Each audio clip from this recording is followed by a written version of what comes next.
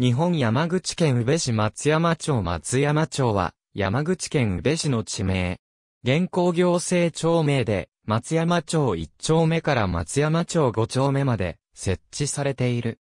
住居表示施行地域。郵便番号は755-0026。宇部市の中心市街地から南東方面へ帯状に広がる。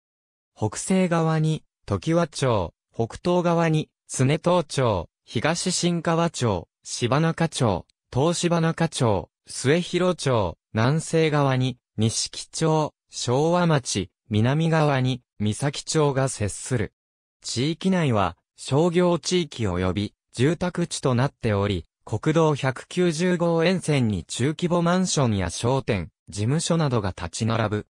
地区に接する国道190号及び国道490号には、それぞれ松山通り、三宮通りの愛称がある。かつて、松山町一帯は、炭鉱に沿って帯状に発達した宇部市の中心市街地の一角を占め、宇部岬駅周辺などは、東未発炭鉱への通勤者で賑わっていた。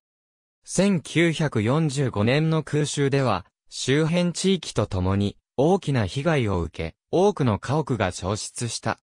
戦後、1丁目と2丁目は、戦災復興都市計画により土地区画整理事業が行われ、幸福院道路を持つ近代的街区に更新されたが、3丁目、4丁目、5丁目は戦前の区割りが残存し、炭鉱閉山以降は急速に衰退。2000年に宇部市が策定した宇部市中心市街地活性化基本計画においては、松山町自体が中心市街地の範囲外となった。ありがとうございます。